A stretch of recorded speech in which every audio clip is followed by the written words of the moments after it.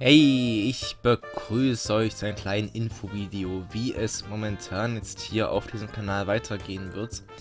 Ihr habt ja vielleicht gemerkt, dass die letzten Wochen jetzt nicht unbedingt immer regelmäßig Videos kamen. Das hat halt einfach den Grund, ich habe schon an mehreren zuletzt erwähnt, ähm, dass ich jetzt 12. Klasse bin und deswegen halt so ein bisschen mehr schulisch zu tun habe als davor. Ähm, das ist aber nicht mal ausschlaggebend der Grund, sage ich mal. Weil ich würde es locker schaffen, jeden Tag ein Video aufzunehmen, schnell zu rennen und hochzuladen.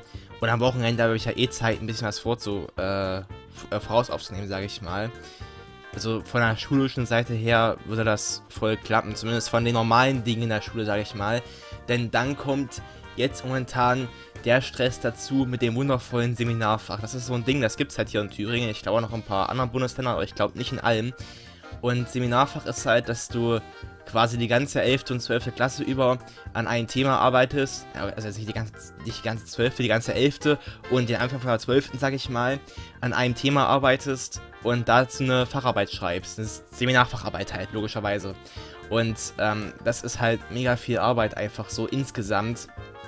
Und momentan habe ich Ferien seit, ich kann mal kurz nachschauen, dem, ja, 29.09., das war ein Freitag, da haben die angefangen, also, da war Wochenende, da haben, haben sie angefangen am 2., dem, ersten, äh, den 2.10., war der Montag, da haben sie so angefangen, aber für mich fangen die schon am Wochenende an, egal, und ihr merkt vielleicht, ich bin auch so ein bisschen krank momentan, in den Ferien krank zu sein, ist super, ähm, und ja, deswegen in den Ferien ist jetzt hier voll die Hochzeit fürs Seminarfach, sage ich mal.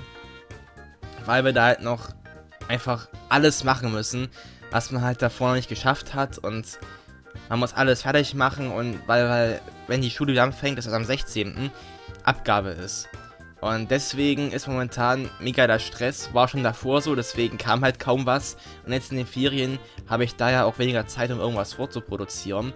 Aber ich habe schon Monate vorher ein bisschen vorausgedacht, als in der, äh, in der 11. Klasse noch ein bisschen ähm, mehr Zeit war, sage ich mal. Also ihr, ihr, wisst ja, wenn ihr auf meinen Kanal guckt, merkt ihr, ja, der Kanal ist momentan so mit Let's Plays ein bisschen überfüllt. Wir haben da Xenoblade. Das ist bald vorbei. Ähm, ich müsste mich nur mal durchringen, das mache ich auch heute Abend, zu leveln. Dann kann ich nämlich die letzten Bosse schaffen und dann ist das LP in ein paar Parts vorbei. Das heißt, Xenoblade ist bald vom Kanal komplett runter. Da haben wir schon mal ein ähm, LP, was dann abgeschlossen ist. Yay, von den Tausenden, die momentan laufen. Dann was haben wir noch Schönes? Terranigma, hier. Ähm, ja, das läuft momentan, da kommt jetzt wieder seit ein paar Tagen täglich ein Part, weil ich da halt ein bisschen was vorproduziert habe jetzt schon in den Ferien. Also das wird jetzt täglich ein Part weiterlaufen. Ähm, das versuche ich auch nach den Ferien noch so hinzukriegen. Nach den Ferien beruhigt sich auch wieder etwas, sage ich mal, weil dann, dann fängt zwar die Klausurphase an und es stehen noch diverse Projekte an, sage ich mal, für mich. Ähm, aber das, das, das kriege ich dann irgendwie hin da täglich ein Part zu äh, schaffen, hoffe ich zumindest, aber das sollte klar sein, da kommt weiterhin täglich ein Part auch nach den Ferien, weil ich habe jetzt in den Ferien auch ein bisschen Zeit, was vorzuproduzieren. Dann haben wir, ja okay, Mario Kart 8 ist ein Online-Let's Play ursprünglich, was halt immer mal so kam, weil ich irgendwie Lust drauf hatte. Es kam jetzt längere Zeit nicht, deswegen denke ich, ich habe ja auch mal angefangen in dem Let's Play äh, einfach die Cups zu spielen. Deswegen denke ich, ich werde noch die Cups zu Ende spielen in den kommenden Tagen. Also, dass ich die letzten Cups noch hochlade. Ähm, das ja nicht mal so viele, glaube ich. Und dann noch ein, zwei Online-Parts mache und das dann beende das Display, weil es, es, es, es ist halt ein Projektslot, sage ich mal. Ich, ich habe eh kaum Lust, das Spiel zu spielen, so wirklich, und deswegen kommt einfach kaum. Und es ist halt kein, kein, kein Projekt, was immer so läuft, sage ich mal. Und deswegen, ja, Mario Kart 8 ist dann erstmal vorbei. Ähm, und damit auch ein Projektslot wieder offen, den ich nicht belegen werde, weil ich brauche Platz auf dem Kanal. So, dann Final Fantasy 6. Ähm, ja, das läuft momentan so nebenher, würde ich mal so meinen. Ähm, kommt mal was, kommt mal wieder nicht was. Also ich denke mal, Äh, das wird auch so weiterlaufen. Ich werde jetzt in den Ferien wieder ein bisschen was für die Schulzeit vorproduzieren, sage ich mal. Weil ich habe halt Zeit in den Ferien, aber da ist halt auch viel Zeit vom Seminarfach belegt, sage ich mal. Ähm, also ich habe Zeit, aber halt nicht so viel Zeit. Deswegen, ich kann in den Ferien viel vorproduzieren, aber halt nicht unbedingt mega krass ultra viel. Deswegen, ähm, ja, wird es weiterhin so laufen, dass mein Part kommt, mal nicht und so weiter und so fort. Dann Dragon Quest 9. Ja, da bin ich jetzt in der Endphase, sage ich mal. Ich muss noch die ganzen Missionen beenden. Und dann will ich noch ein bisschen was in Richtung Grotten machen, aber dann ist es auch vorbei. Aber dafür muss ich halt noch viel leveln und was weiß ich. Deswegen, da kommen wahrscheinlich demnächst wieder ein paar Streams. Äh, vor allem am Wochenende, weil da die meisten Leute Zeit haben. Also haltet da mal die Augen auf. Demnächst, jetzt nicht unbedingt in den nächsten paar Wochen, aber demnächst, sage ich mal, da kommt dazu wieder ein bisschen was. Also, also die Parts kommen logischerweise weiterhin, bis ich die ganze Mission geschafft habe. Aber wegen den Grotten muss ich halt noch viel leveln und viel ähm, vorbereiten und so. Und dazu kommen halt wahrscheinlich Streams und ja, haltet da mal die Augen auf, sage ich mal. Dann Final Fantasy XII, was gestartet ist wegen dem Zodiac Age Release damals. Ähm, war vielleicht nicht so klug von mir, das zu starten, aber ich hatte so viel Bock da drauf und es lief mal eine Zeit lang täglich. Das versuche ich jetzt auch wieder einzupendeln. Ich nehme es wieder, wieder so vor, wie in den Ferien, wo das LP gestartet ist, also in den Sommerferien, jeden Abend zwei Parts aufzunehmen, dass ich halt einen am nächsten Tag hochladen kann und dann noch einen Vorrat, im, im, im, im Vorrat habe quasi. Also das sollte ich irgendwie hinkriegen, dass es wieder täglich kommt mit Terranigma dann. Und die anderen LPs kommen halt, wenn ich Lust und Zeit dafür habe. So, dann dafür bei Breath of the Wild bereue ich es, als das LP gestartet zu haben. Also ich möchte es nicht abbrechen oder so, weil es mir, es macht mir ja Spaß, das LP, aber es hätte, glaube ich, mir mehr Spaß gemacht, wenn ich es privat gespielt hätte, weil ich einfach nicht ähm, das Spiel nur spielen könnte, ähm, wenn ich halt Zeit dafür habe, sage ich mal. Also, also Zeit zum Aufnehmen habe, sage ich mal. Weil dann könnte ich mich auch einfach so mal kurz hinsetzen, ein bisschen spielen und gut ist.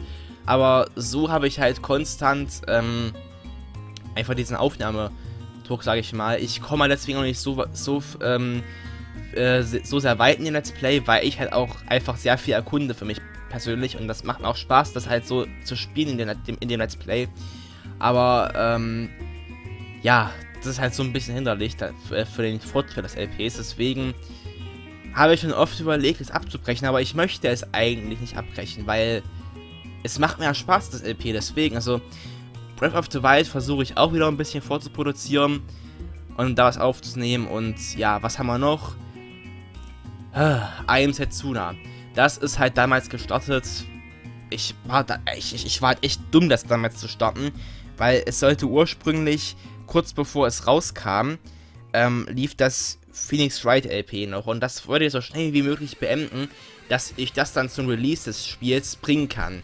Hat nicht so ganz geklappt, weil dann wieder die Schule dazwischen gegriffen hat und demnach ist das Phoenix Wright LP erst ein bisschen später beendet worden. Und da dachte ich mir eigentlich so, ja okay, ähm, jetzt ist es nicht mehr Release, jetzt ist es schon ein paar Wochen draußen, startest du nicht mehr. Aber dann habe ich mich kurzfristig doch umentschieden und es aus Dummheit doch gestartet. Und dann kam es lange Zeit nicht. Das läuft schon seit 2016. Es, wir haben fast Ende 2017. Es läuft schon seit Ende 2016, also schon fast ein Jahr. Ich glaube sogar schon ein Jahr. Ke keine Ahnung. Jedenfalls ähm, war es halt damals so, ähm, ja, dass es kaum kam, weil ich halt die Parts oder die, das, das, Spiel auf Englisch und es immer übersetzt habe im Nachhinein. Das habe ich dann gelassen, dann kam es ein bisschen öfter. Und jetzt müsste ich mich mal einfach drei Abende oder so hinsetzen und das Spiel vielleicht aufnehmen. Weil ich bin so ungefähr bei der Hälfte, würde ich sagen. Und dann, das sind vielleicht noch 25 Parts oder so, keine Ahnung. Also zumindest so von dem, was ich bei anderen Leuten so sehe. Äh, wenn ich vergleiche, aha, das ist ein Part, äh, keine Ahnung, 25 da, wo ich jetzt bin und das LP ist 50 Parts lang, dann kann ich mal so schließen, ja okay, werde ich auch so ungefähr 50 Parts für brauchen. Ich bin ein bisschen schneller, deswegen 48 oder so, keine Ahnung, deswegen. Da müsst ihr mich einfach mal hinsetzen, ein paar Abende lang und das vielleicht aufnehmen. Dann kommt das jeden Tag und dann ist es auch fertig, sage ich mal. Aber das, das, das mache ich nicht, weil ich kann das Spiel halt nicht so lange spielen, weil es auf Englisch ist einfach. Das es, es, es geht für mich einfach nicht. Deswegen war ich ja damals dumm, es zu starten einfach. Ich, ich weiß nicht mal, wieso ich es gemacht habe. Ja. Also, das ist halt so, ich habe momentan einfach kaum Zeit, so irgendwie die ganzen Videos zu bringen, sage ich mal. Aber wie vorhin schon gesagt, war ich vor einigen Monaten schlau und habe für diese Phase, wo halt ich kaum was aufnehmen kann und deswegen auch kaum in die aktuellen LPs bringen kann, habe ich ein LP vorproduziert. Und das ist nämlich Tales of Symphonia. Das habe ich damals angefangen aufzunehmen und ich bin so gut wie fertig damit und das werde ich jetzt die nächste Zeit jeden Tag ein Part bringen. Weil das beeinflusst die anderen Uploads nicht, weil das LP halt schon so gut wie fertig aufgenommen ist. Ich, ich weiß, ich mache da eigentlich mehr Arbeit, weil halt noch ein LP startet, aber mache ich, mach ich eben nicht, weil es schon fertig aufgenommen ist. Es ist nur Hochladen. Und das Hochladen kann ich auch mal schnell in der Nacht, äh, in der Nacht machen oder so. Deswegen, da geht eigentlich keine weitere Zeit verloren, sage ich mal, oder so, die ich ähm, mit dem LP zubringen muss. Es ist eigentlich nur Hochladen. Das habe ich vor Monaten schon so gut wie fertig aufgenommen. Es fehlen noch ein paar Parts, aber ja, das ist halt so eine Sache. Deswegen, ähm, jetzt werden mich manche wahrscheinlich für bescheuert halten, wieso ich denn noch ein Let's Play starte, aber es ist eigentlich schon sinnvoll, weil halt täglich mindestens ein Video kommt und dann halt dazu noch die Videos von den anderen LPs, die ich schaffe. Versteht ihr? Also das, das, das ändert quasi nichts daran, außer dass noch ein Let's Play zusätzlich kommt, was aber halt dann täglich kommt. Also definitiv täglich. Das heißt, ihr habt täglich ein Video mindestens von mir, das ihr euch anschauen könnt. Und es beeinflusst halt, wie gesagt, die anderen LPs nicht, weil ich auch meine Nachtfass hochladen kann und so weiter und so fort. Deswegen. Also, das ist eigentlich kein ähm, Grund, irgendwie jetzt die Alarmglocke zu schlagen und sagen, starte doch nicht noch eine Pädophilie. Nein, es ist eigentlich voll okay, weil es mir halt keinen Mehraufwand macht oder so. Es ist einfach, ähm, ja, dass eine, eine Absicherung, dass täglich mindestens ein Video kommt. Sozusagen. Und damit versuche ich weiterhin täglich die Enigma zu bringen. Und Tales of Symphonia kommt wirklich täglich, das schwöre ich euch. Dann versuche ich jetzt ähm, täglich Final Fantasy 12 wieder zu, zum Laufen zu bringen. Vielleicht mache ich es auch irgendwie zweitägig. Ich glaube, das wäre schlauer. Dann kann halt auch so ein bisschen die anderen LPs kommen. Ja, ihr, ihr werdet sehen, wie es laufen. Aber, aber, ich versuche momentan wieder ein bisschen ähm, back ins Business zu kommen, sage ich mal. Weil die letzten Wochen kamen jetzt relativ wenig Videos. Dann, ähm, jetzt seit Ferienbeginn versuche ich wieder täglich eins zu bringen. Und das ist meistens Terranigma. Und ja, damit läuft das, sage ich mal. Das ist jetzt mein Masterplan. Und ich habe, wie gesagt, von Tales of Symphonia schon ziemlich viel aufgenommen. Also ich bin wahrscheinlich kurz vorm Ende. Ich, ich kenne es ja nicht deswegen, aber ich glaube, ich bin kurz vorm Ende so ungefähr. Und, ähm, ja, da läuft es auf jeden Fall. Und da kommt das täglich definitiv. Und die anderen LPs heißt, wie ich es schaffe einfach. Also macht euch da keine Sorgen, dass ich mir irgendwie zu viel aufhalte oder so.